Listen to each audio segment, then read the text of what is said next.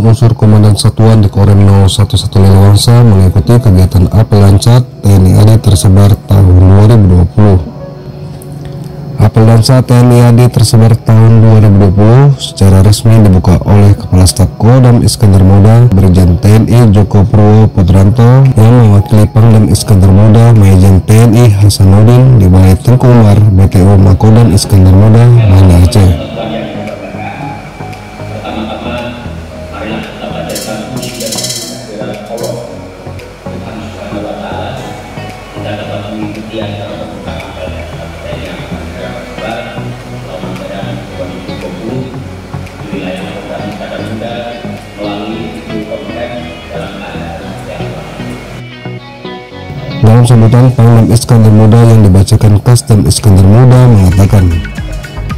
pada acara pembukaan apel Lansat, Kastem Iskandar Muda melalui video yang ditayangkan secara virtual membacakan amanat tertulis Pangdam Iskandar Muda mengatakan apel Lansat TNI AD dilaksanakan bertujuan untuk menyatukan visi dan misi juga sebagai pedoman dalam penugasan selanjutnya.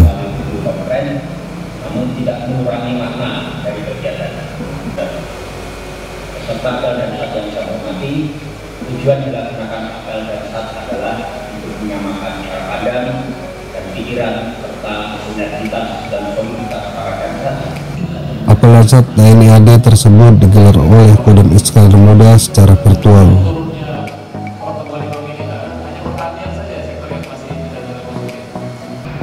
Pada kesempatan itu juga, Kastem Iskandar Muda berkesempatan memberikan arahan terkait dengan kepemimpinan di era milenial. Itu, Kasem Iskandar Muda mengatakan menciptakan kesamaan dalam pemahaman nilai-nilai jati diri prajurit Kodam Iskandar Muda memelihara soliditas yang dibangun melalui komunikasi dua arah antara pimpinan Kodam Iskandar Muda dengan para komandan satuan.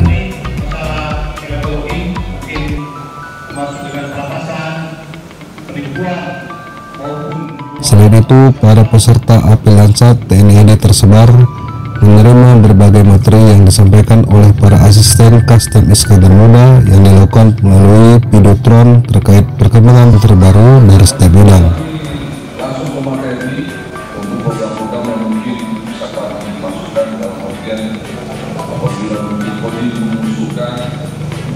Kegiatan apel lansat yang digelar selama dua hari terhitung Kamis tanggal 10 sampai dengan Jumat 11 September 2020 tersebut ditingkatkan soliditas dan profesionalisme dan cat dalam rangka mendukung tugas pokok Polda Iskandar Muda. Kita ketahui situasi tidak lengkap. Bagaimana cara mengoperasionalkan atau mengoptimalkan kondisi bagi yang tidak bisa menembak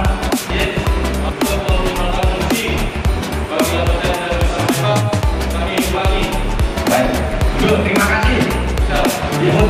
dari 114. Selain itu, para peserta apel lansat diberikan wawasan tentang kesehatan, yaitu RJP, resusitasi jantung paru.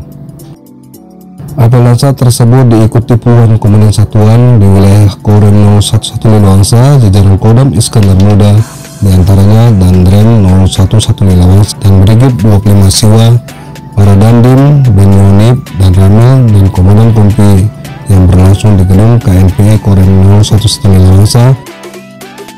Selanjutnya turut digelar rangkaian apel lancet TNI AD berupa demonstrasi penanganan pasien COVID-19 Corona mengutamakan adanya warga masyarakat yang tiba-tiba terkena virus Corona kemudian bagaimana cara menangani warga yang akan mendekat untuk menyaksikan korban COVID tersebut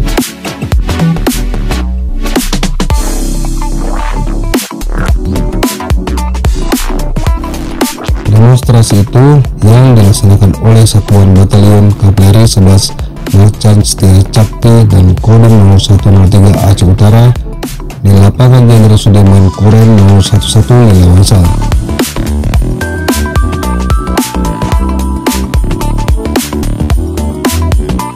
Begitu juga dalam upaya menangani korban yang terkena wabah COVID yang terjadi di tengah-tengah kerumunan warga.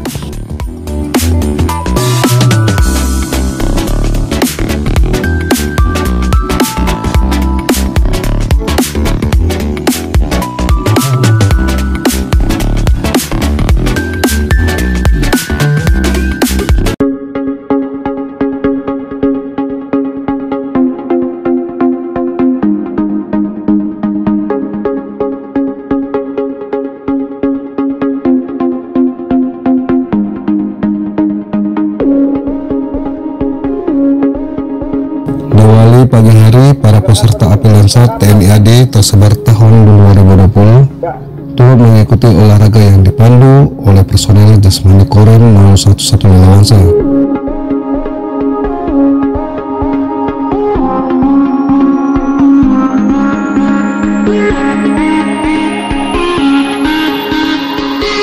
Selain itu, para peserta apel lansat turut melaksanakan olahraga umum